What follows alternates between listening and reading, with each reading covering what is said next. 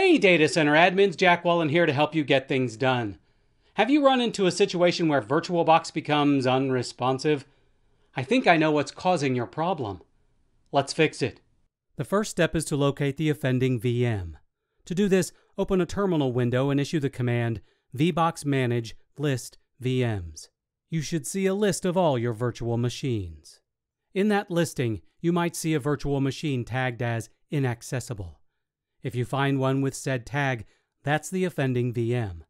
Along with that tag, you'll also see a long string of random characters, which is the ID you'll use to fix the problem.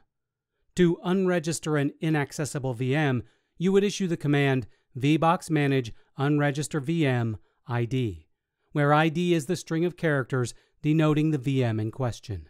For instance, if my Chef client VM were tagged as inaccessible, I'd issue the command VBoxManage unregister VM 6F05799A 118E 458C B98A E9D2 B96733F2. Once the VM has been unregistered, VirtualBox should then work as expected.